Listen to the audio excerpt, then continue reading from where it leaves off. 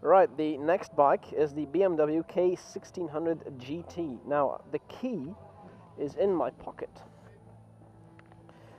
So all I have to do is push this button and it lights up. Now this is a 1600cc six-cylinder engine. Um, this is going to be special. This this is obviously a very heavy bike. Um, but I've ridden heavy bikes before, and I assume that it must ride just absolutely, absolutely great. Most heavy bikes that I've ridden so far ooh, are very, you know, very nice to ride.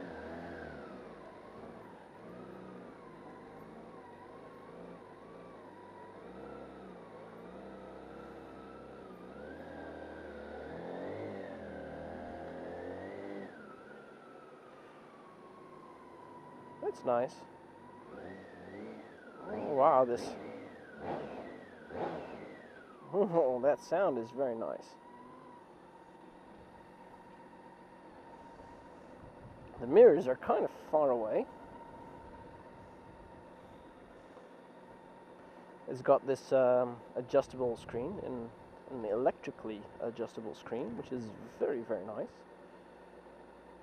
Um, this should offer fairly good wind protection. Now, you've got this sound system here, so somewhere hidden inside this menu, no, I don't want heated grips, I don't want heated seat. Wow, it's got everything. Yeah, look at this. I've got an onboard computer, like you get on a car. Can I go back? Oh, look at that. That's how it works. No, seat heater. It even tells you here right here on the screen. Heated grips with many different settings. So they're off now. Let's keep them off because it's fairly hot. Still have no feedback whether or not the uh, uh, these lights are working. This is to turn off on and off the uh, normal riding lights. I've got modes. These are engine modes, I suppose. Dynamic, rain, and road. Let's put it in dynamic.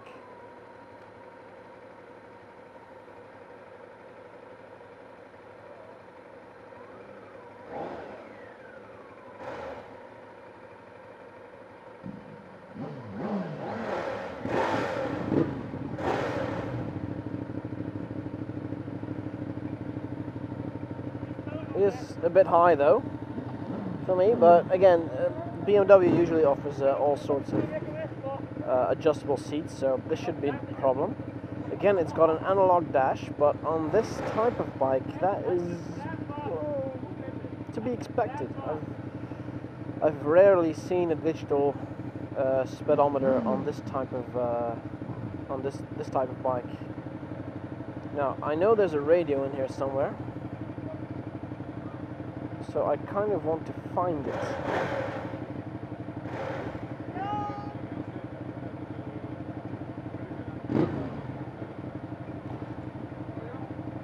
Chronometer, why? Oh, average speed, no.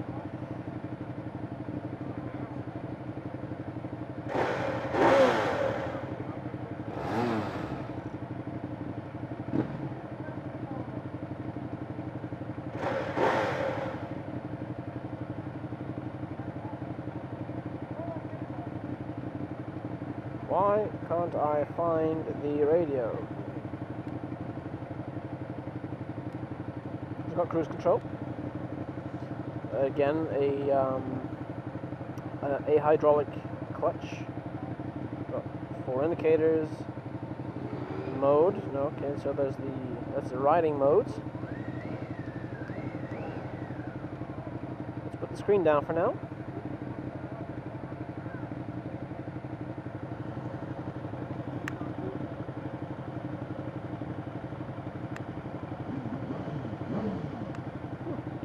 So this opens uh, with the other key uh, with a wireless system as well. And we are off.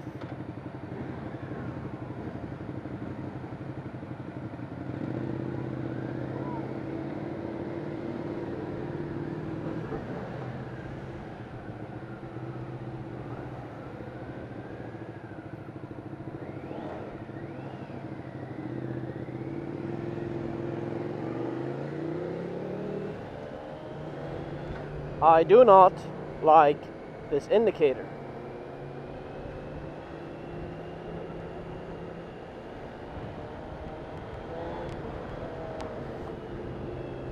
This is a really powerful bike. Oh my god. I don't know how many horsepowers this thing's got.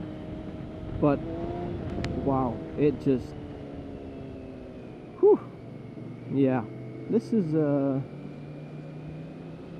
if you want a touring bike, I'm thinking this is the one to have. If you can afford it, this is the one to have.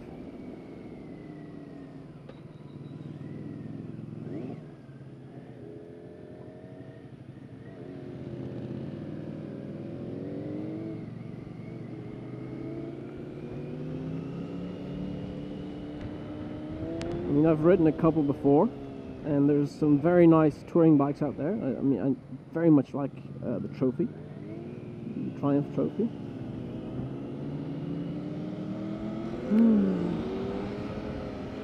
Woo!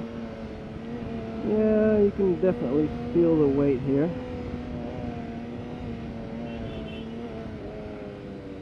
Oh, rustig vriend, rustig.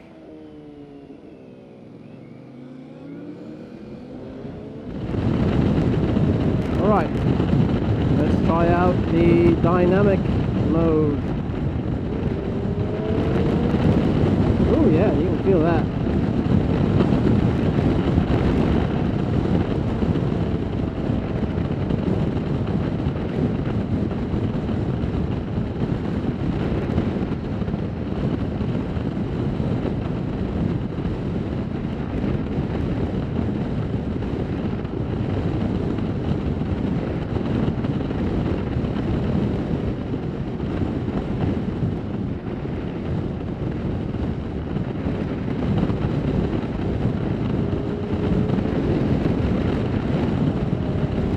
Alright, I'm getting a bit of uh, buffeting here, so let's put up the electrically adjustable screen.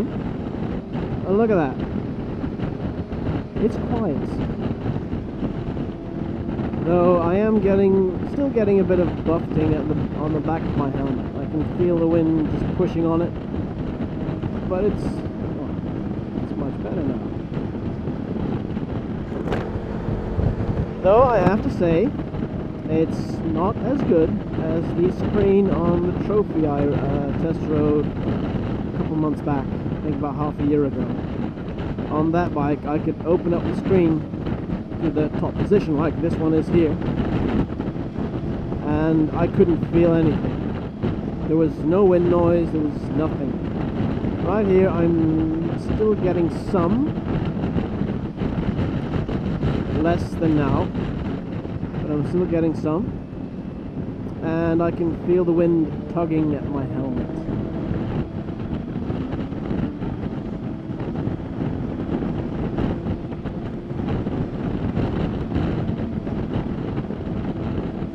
Go ahead.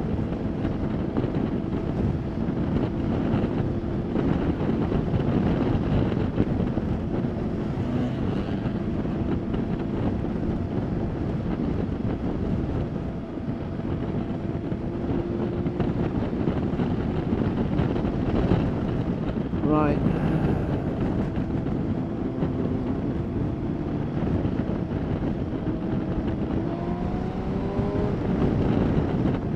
Oh, this is very smooth.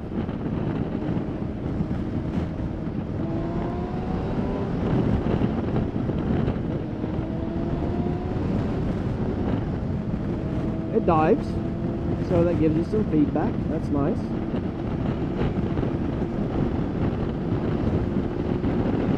got a obviously I mean it's a touring bike so obviously it has a nice riding position yeah, I'm, I feel very comfortable here I feel like I could do many many miles on this bike without you know feeling tired or uh,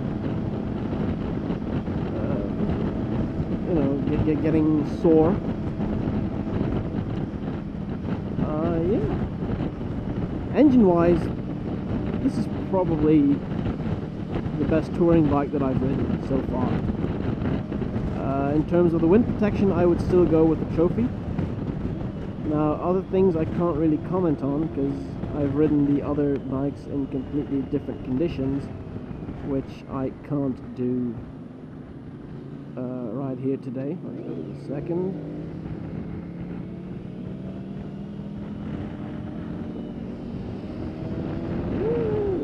Handles nicely.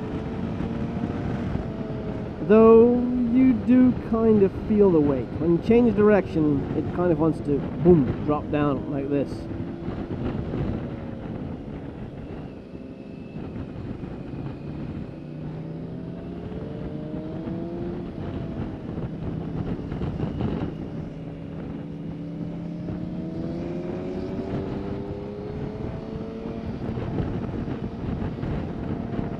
Second gear now, halfway through the rev range. Let's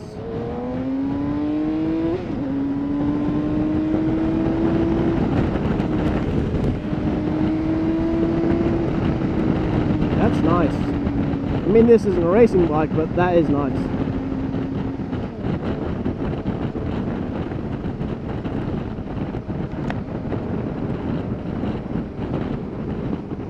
Ooh, Actually, getting a bit hot in here, so let's lower the windscreen. Oh yeah, that's better. A lot more noise now, but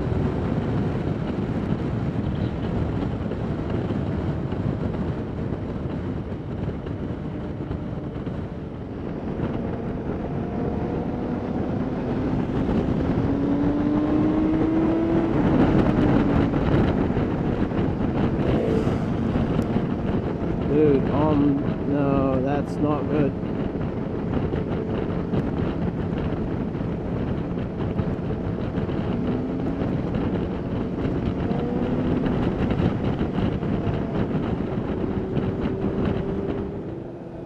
So yeah, as was to be expected, this is a very, very smooth bike.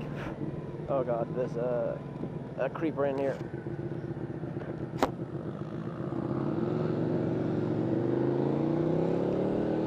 Yeah, so as was to be expected, this was a very, very smooth bike. It, it just glides along the road. It's got more power than uh, you know what to do with.